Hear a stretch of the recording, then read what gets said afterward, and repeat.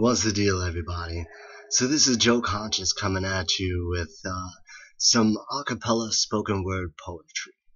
Uh, I've been kind of neglecting my roots, and this is where I, uh, you know, I originally started before I did hip hop music. And uh, my friend Matt has been reminding me how powerful some of my stuff can be, especially with the sign of the times and the pivotal election coming up.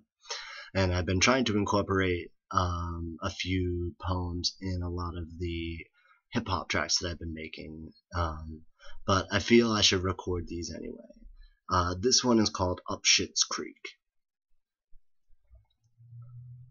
Is anyone else tired of this fucked up, corrupt system that's definitely resisting listening to wisdom? Even police lack common sense and intelligence, issuing an excessive amount of tickets and negligence, again passing the country's financial woes onto the people. I swear our government is disgustingly evil. Despite the middle class being collectively pissed, we insist on doing what's in the rich's best interest. No regulations required for authority. Voting is no longer the voice of the majority. It seems to me popularity beats quality. Bush rigging the second election still really bothers me. Laws are filled with hypocrisy. Capitalism's absolutely ruining democracy, further dividing instead of uniting us, consumed by fear so we're lacking the guts and the ability to trust that judges will rule and do what's fair and just. Everybody's hidden agenda involves gaining a competitive edge. Dig deep enough and you'll find dirt you can use as leverage.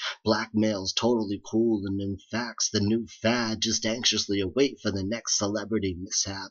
Who in Hollywood isn't cheating, beating, or stealing? Which politicians aren't soliciting or illegally scheming and back end dealing. My fists are clenching with this wrenching feeling. There's a slim chance of recovery unless we begin mending and healing after years of discrimination and oppression. I thought the recession would be a disguised blessing, forcing people to reevaluate living within their means. Unfortunately, instead, we fell for Wall Street's greed. Don't believe that repercussions have peaked. It appears the whole globe's pretty much up shit's creek.